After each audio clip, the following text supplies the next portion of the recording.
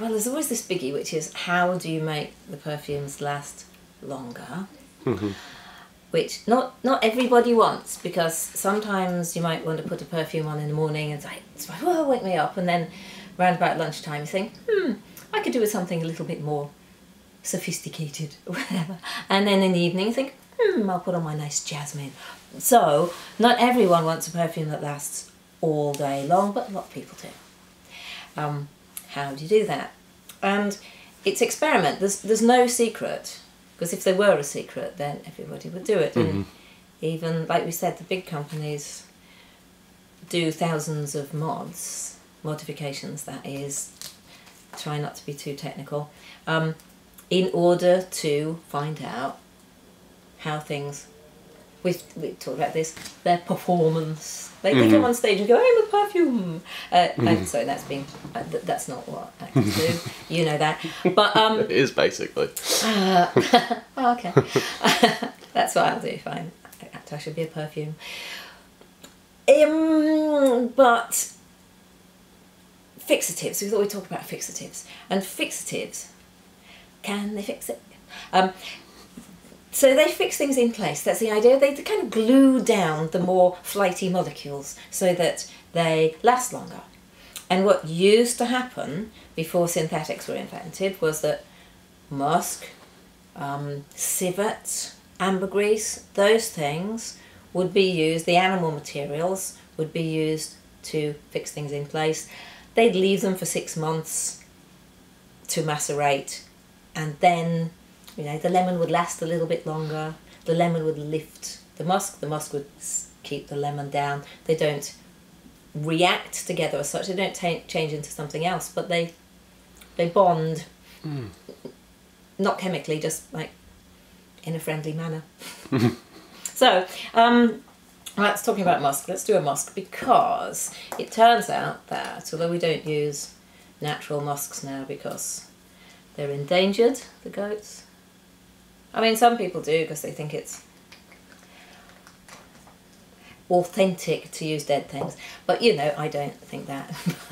and anyway, it's illegal. So, uh, but this is a musk called ethylene brassylate, which is seriously sticky. We're we're looking for stickiness in materials, both naturals and synthetics. Hmm. Um, because I tend to picture them as like um, balls covered in Velcro.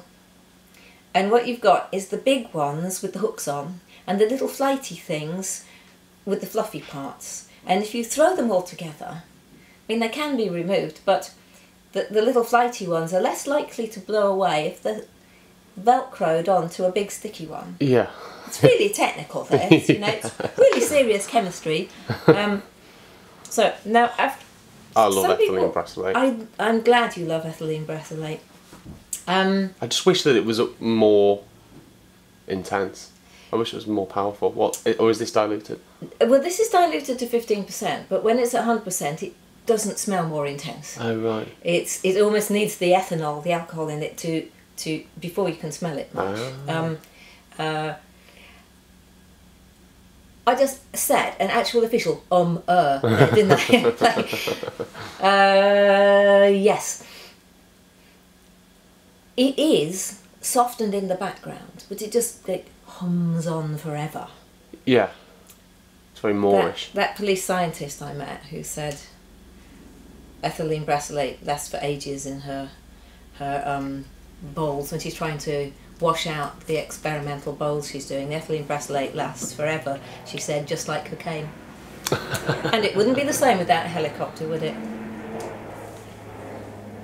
So, but this is one of those musks that is really, really low.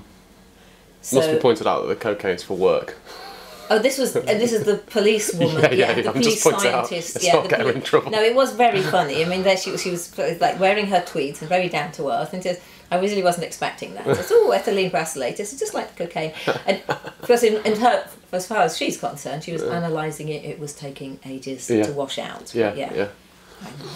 yeah. So Yes, the, the the longer it's on the stick, the more it, it then starts to evaporate, starts to go up our noses, but it it it is just the super musk. Very soft, very backgroundy. Some people can't smell it, but they might be their brains might be looking for something else. Hmm. Sometimes pointing out these things, it's like saying, set your brain to a cream coloured soft duvet and try and smell that. If people think they're looking out for a musty smell, so that they think musk is hmm. more intense and animalic, nothing happens because they're kind of smelling in the wrong place. Like it's It's very um, interesting. I am reading a book at the moment about uh, evolution, right? Mm. And it, you just reminded me with the with the fact that some people can't smell ethylene brassylate. Three percent of our genome are, is our three percent of our genes yeah, are dedicated to smell. Three percent. It's like it's an enormous amount of genes It's- that we have. that's yeah. Considering But out of all of the smell receptors that we have, um, the genes for 200 smell receptors are inactive and turned off down the evolutionary line. Mm. So, at some point back in history, we had 200 more smell, different smell receptors. So there's 200 things that we can't smell that we used to be able. To, that we used to be able to smell. But because we became visually prominent yeah, and we didn't necessarily need those smells to survive. If someone didn't have it, they didn't die. So therefore, this gene being switched off just hmm. survived. Hmm. Hmm. It's just Well, it's just an You can- interesting bit. is. It is. Thank you. But we can. You can also. You, I mean, you can get better at smelling.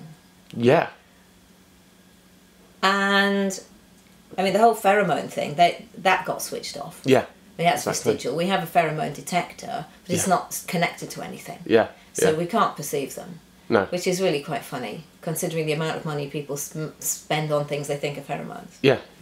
And also how how much they will argue with you that pheromones do exist. Yeah, that, that we do rather that we Th- do. Yeah, there is such hope that there is this magical material that at some point will just be the ultimate in attraction. Yeah. Um, I'm going to give you a thing. Thanks. The other very interesting thing I think is that over these millions of years of our evolution, we can smell ethylene brassylate, which doesn't exist in nature. Yeah. So we have a thing which can detect ethylene Yeah. brassylate. Yeah. So, anyway, do you know what this is? Um, I do. Yeah. Yeah, I do. Yeah. So, is it, if I say, is it benzoin or labdanum or a opoponax? Oh, then I don't. Okay, it's labdanum. what, did, did you think it was I recognise the smell. Yeah, this is the the clear labdanum, labdanum Yeah. clear, okay, easily pourable. So this is a fixative of the old school. This is natural, Wow. taken from the, the rock rose, and it almost smells sticky. When, when you're working Really with it, it's sticky. Yeah. Um, I don't know if this is backed up by anyone else, but in my experience, the stickier the material that you're actually working with, the more of a fixative it acts as. That's interesting. I think that's just about grammatically correct. I can work my way around that one. That's in. That's. Yeah. I, I mean, mean, literally when possibly they're something. sticky. Yeah. There is possibly something in that. Yeah. I can't think of anything that's sticky that doesn't last. Interesting. Um, and to the to the point at which we're actually getting into the powders here, because uh, I mean this is one of those which does last, does hold things in place, quite influential. Some of the fixatives, and they're low slope materials. They don't interfere greatly in the aroma of your fragrance. They just help it last longer and you know travel a bit further. Some of them make their presence very felt, and this is one of them. I know what this is. Mm-hmm. It, someone has tinctured a Battenberg. Yes, this is tincture of Battenberg. this is this is coumarin. Yeah. So, coumarin is the molecule which exists in tonka beans, but it's been most of the stuff that we use is synthetic now. 'cause It's not too expensive. The helicopter's back. It's a lovely coumarin, isn't it? Coumarin is amazing. Not everyone likes Battenberg. Mm. I actually am not fond of the cake, but Mm. I am fond of the aroma. But coumarin is one of those which Guerlain used in their Guerlainade, which is basically a, a battalion of fixatives blended in bergamot that they used at the end of the 19th century, beginning of the 20th century, as a base for all their fragrances Oh wow. and coumarin was in it, vanillin was in it, um, synthetic musks, heliotropin, and then all mixed up in bergamot, and that was their like the Mm. the thing that everything sat on. So, um, and, and I've I've made my own, which it, it, it's in the festival fragrances, which is coming out. Um, and I might tell you what I've made it with. You've made your own. I've made my own sort of uh, accidentally. It's called the magic, no, miraculous mystery base because I've got Mhm. magical mystery, but the the miraculous mystery, uh, I've put in labdanum and coumarin and oak moss and vanillin and isory super and hedione and some other things I can't remember because I'm me. Mhm. And I used I, made some fragrances at five percent strength. I thought they were going to be just quick like body spray light things, Mhm. and then I got all these reports back that they were lasting all day, and I was thinking, ah, I've made a thing, um, and and it, it, it's real. Th- it is real. The thing I have made, um, just lasts, and I think we kind of need to experiment and make our own. The magical mystery material is this one, and that this this Mhm. works. So this thi- comes in the kits. this comes in the kits because it is hedione, isory super, and ethylene brassylate together, one to one to one, and this is called the magical mystery material. It's not a mystery because I've told everyone, but it will give longevity and protection, projection, not protection, projection, a certain amount, but not not too much because also because I'm me. Um, and I don't actually want to assault people's noses from a distance. Uh, but this turns things into something that smells like a perfume you get in the shops, Mhm. if Mhm. that's what you want. Yeah. Not everybody wants that. So this, you can hardly smell it. It's there though. Here's our friendly raven. Yeah. Um, yeah, it's there, and when you put it with something else, then it, it magics things Yeah. to last longer and go further. The the problem people have in using these things generally is that because they don't smell much, they don't really believe they're going to do anything. Mhm. So they have to overcome their uh, fear of, of wasting their materials or diluting what they've made by pouring in something they think doesn't smell and then suddenly. You ever poured water on those magical Japanese flowers? Mm. You get little pa- paper Yeah. things and you put water on them and they go poof! And it's a bit like that. The magical mystery material stuff will take your, your, Yeah. your essential oils, which have been, you know, had a lot of the life extracted from them in the process. Mhm. Put these back in, and they go, "Whoa, I'm a flower again." Yeah. Yeah. So, um, yeah, it's not just fixing; Mhm. it's also opening up. Yeah. I suppose it's like Ah. um, adding water to watercolor paint. Yeah, The paint doesn't really spread and it doesn't really do anything, anything. until you put water on it. This is Yeah. true. It that is quite a good one. I'm going to go uh, old school now. I mean, we I don't think we can talk about all of these, otherwise we will be here till Christmas. but Mm. Because you there are there are this is natural. Mhm. I mean, partly you can tell that Yeah. it's coloured. Not all synthetics are colourless, but most of them are.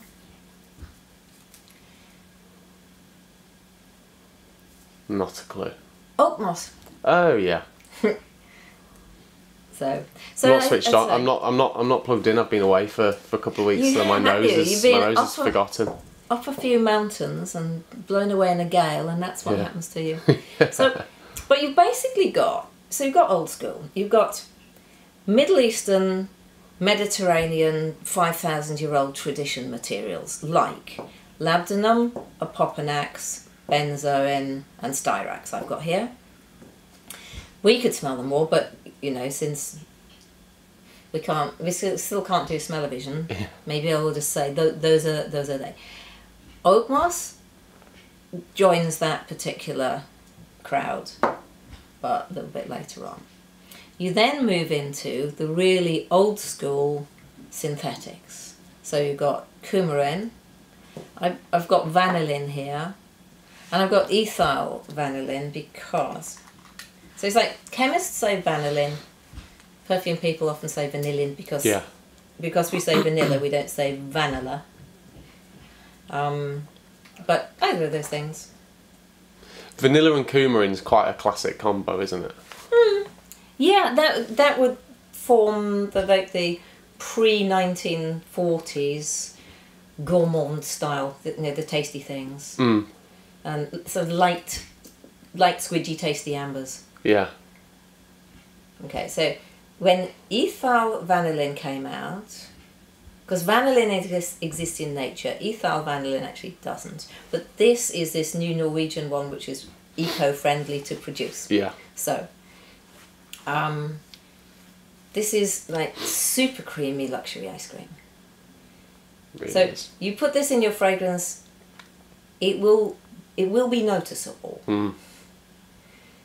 But it, it sticks it like glue. But also, it's one of those which is now described as top, mid, and base note because you perceive it through the life of the fragrance. It's an all rounder. Yeah, it is. It's not actually sweet. It's just it reminds humans of sweetness generally Oh, that's interesting. Yeah, of course. because it we associate it with cakes. But I've had vanillin, well, more vanilla, I think I don't know which, sprayed on uh, fish on on sushi. Wow. sashimi in in uh, the Fortnum and Mason's launch party for when was that 2016? Wow. That sounds yeah. good. So it doesn't make the fish sweet; it just makes it aromatically vanilla. Wow. I'm going to try putting some in some hummus. try try vanillin on your um, pesto or something. yeah. Right now, I think there's one that gets missed out quite a bit, but in my experience, uh, this is another which causes fragrances to last. I'd put this in the same class as the ethyl maltol and coumarin.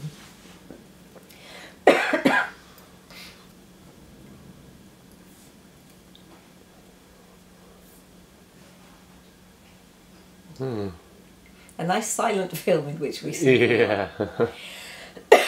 and I cough. Um, shall I give you a hint? So, is Yeah. it floral? Is it fruity? Is it woody?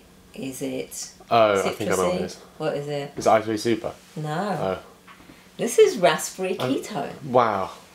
Wow. I, So if I say freeze dried raspberries to you, yeah. does it? Yeah. It's also quite woody. Hmm. I'm, I'm, it's, it's funny. I'm now trying to think. but If somebody says, "Oh, that one reminds me of this," I have to go back to it and go, "Oh, do I get that from it?" And sometimes I see what they mean, and I don't always. I'm so I'm so. This just just says jam to me. It says the bottom of the pan. After you, you scrape it, or it's, it's been boiling Mm. all day, and it's, but it's very slow to rise up, and Mm. There's a hint there. If you don't get it on the stick for the first 10 minutes, it's probably going to be a good fixative. It's interesting. It just, it's like, I'm not leaving this stick. Yeah, yeah, yeah, yeah. I'm going to stay here. Um, but does it, it, does it fix itself or does it also fix the other things around it? Is it just heavy or is it heavy with the Velcro hooks on it? Mm. So you have something as you I'm just staying here, I'm going to stay here all day and I'm not moving. Yeah. And in answer to uh, the critics of my accents, I'm Northern, so I'm allowed to do that one. Thank you. uh, but um, yeah, I'm thinking of certain people when I when I speak like that that I've met. So um, yeah. But others, are like, right, I'm staying here all day, who's with me? Yeah. yeah. And that's more like my grandfather. Yeah, it's um. This doesn't smell like I've smelt it before. It's strange. It's it, it, it is odd how it's different when you're bottling it. It's different when it's I thought we had a ghost, but I think it's just a cardboard box come to life. Hmm. Um, I didn't think we had a ghost. I'm more concerned that we might have a mouse, but I don't think we have. Um, Yeah, the the amount of ghost, the amount of mice that have been incorrectly attributed to being ghosts in Yes. London is probably. yes, I think. Um, it, although we still have the we have we still have the the warm patch on the stairs, but that is Oh, yeah. entirely down to physics. Yeah. Yeah. But I like to think of it as a presence. Okay, uh, one we absolutely can't miss out is this. It's, uh, I've also got Cedramber on the table. I do have Isoe Super. I have other musks. I've got Sandalore and um, uh, oh, Hedione. But this, yes. I don't have a clue what this is. This is Ambrox Super. Oh, I mean, I should.